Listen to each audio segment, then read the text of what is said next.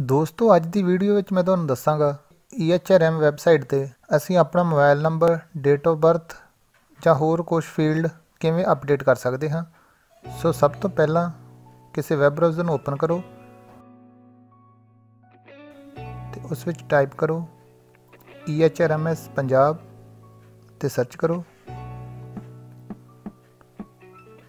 IHRMS Punjab ਇਸ link ਤੇ click ਕਰੋ।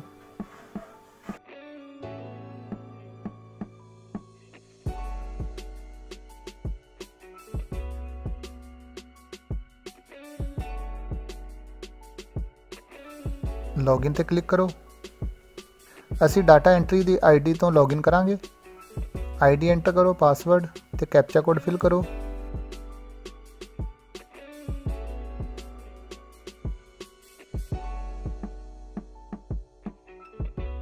ਤੇ ਲੌਗਇਨ ਤੇ ਕਲਿੱਕ ਕਰੋ।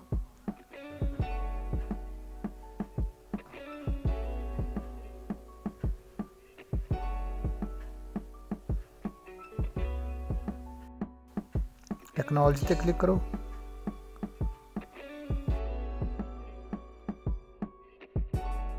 EMPLOYEE ENROLLMENT, ਇਸ ਆਪਸ਼ਨ ਤੇ ਕਲਿੱਕ ਕਰੋ ਤੇ ਵੇਰੀਅਸ ਸਰਵਿਸ ਬੁੱਕ ਅਪਡੇਸ਼ਨ ਇਸ ਆਪਸ਼ਨ ਨੂੰ ਸਿਲੈਕਟ ਕਰੋ। ਕਰਮਚਾਰੀ ਦਾ ਨਾਮ ਟਾਈਪ ਕਰੋ ਉਸ ਨੂੰ ਸਿਲੈਕਟ ਕਰੋ ਤੇ ਗੋ ਆਪਸ਼ਨ ਤੇ ਕਲਿੱਕ ਕਰੋ।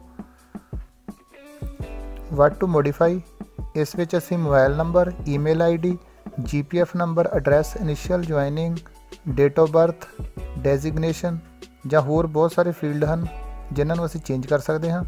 ਇਹਨਾਂ ਵਿੱਚੋਂ ਜੋ ਵੀ ਤੁਸੀਂ ਫੀਲਡ ਚੇਂਜ ਕਰਨਾ ਚਾਹੁੰਦੇ ਹੋ ਉਸ ਨੂੰ ਸਿਲੈਕਟ ਕਰੋ। ਇਸ ਵੀਡੀਓ ਵਿੱਚ ਮੈਂ ਤੁਹਾਨੂੰ ਡੇਟ ਆਫ ਬਰਥ ਚੇਂਜ ਕਰਕੇ ਦੱਸਾਂਗਾ। ਉੱਪਰ present date of birth show ਹੋ ਰਹੀ ਹੈ ਤੇ ਨਿਊ ਡੇਟ ਆਫ ਬਰਥ ਜੋ ਤੁਸੀਂ ਚੇਂਜ ਕਰਨਾ ਚਾਹੁੰਦੇ ਹੋ ਉਸ ਨੂੰ ਐਂਟਰ ਕਰੋ ਤੇ ਅਪਡੇਟ ਤੇ ਕਲਿੱਕ ਕਰੋ। ਡਾਟਾ ਐਂਟਰੀ ਦੀ ਆਈਡੀ ਤੇ ਜੋ ਵੀ ਮੋਬਾਈਲ ਫੋਨ ਰਜਿਸਟਰਡ ਹੈ ਉਸ ਨੂੰ ਐਂਟਰ ਕਰੋ ਤੇ ਜਨਰੇਟ OTP ਇਸ ਆਪਸ਼ਨ ਤੇ ਕਲਿੱਕ ਕਰੋ।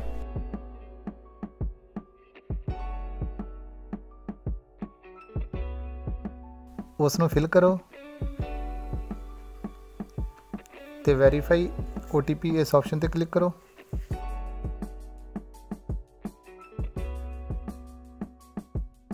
ਤੁਹਾਡਾ ਡਾਟਾ ਅਪਡੇਟ ਹੋ ਚੁੱਕਾ ਹੈ।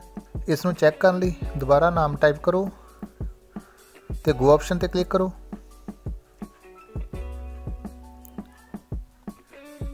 ਡੇਟ ਆਫ ਬਰਥ ਇਸ ਆਪਸ਼ਨ ਨੂੰ ਸਿਲੈਕਟ ਕਰੋ। ਅਸੀਂ ਦੇਖ ਰਹੇ ਹਾਂ ਕਿ ਜੋ ਅਸੀਂ ਡੇਟ ਆਫ ਬਰਥ ਨਵੀਂ ਅਪਡੇਟ ਕੀਤੀ ਸੀ, ਉਹ ਪ੍ਰੈਜ਼ੈਂਟ ਡੇਟ ਆਫ ਬਰਥ ਵਿੱਚ ਸ਼ੋ ਹੋ ਰਹੀ ਹੈ। ਸੋ ਡਾਟਾ ਅਪਡੇਟ ਕਰਨ ਉਪਰੰਤ ਅਸੀਂ ਲੌਗ ਆਊਟ ਕਰ ਸਕਦੇ ਹਾਂ। ਸੋ ਦੋਸਤੋ, ਜੇਕਰ ਵੀਡੀਓ ਵਿਚਲੀ ਜਾਣਕਾਰੀ ਚੰਗੀ ਲੱਗੇ, ਤਾਂ ਵੀਡੀਓ ਨੂੰ ਲਾਈਕ, ਸ਼ੇਅਰ ਤੇ ਕਮੈਂਟ ਜ਼ਰੂਰ ਕਰਨਾ ਤੇ ਸਾਡੇ ਚੈਨਲ ਸ਼ਬਦਾਂ ਦੀ ਦੁਨੀਆ ਪ੍ਰੇਮ ਰਤੜਾ ਨੂੰ ਜ਼ਰੂਰ ਸਬਸਕ੍ਰਾਈਬ ਕਰੋ ਤਾਂ ਕਿ ਇਨਫੋਰਮੇਸ਼ਨਲ ਵੀਡੀਓ ਤੁਹਾਡੇ ਤੱਕ ਪਹੁੰਚਦੀਆਂ ਰਹਿਣ। ਧੰਨਵਾਦ।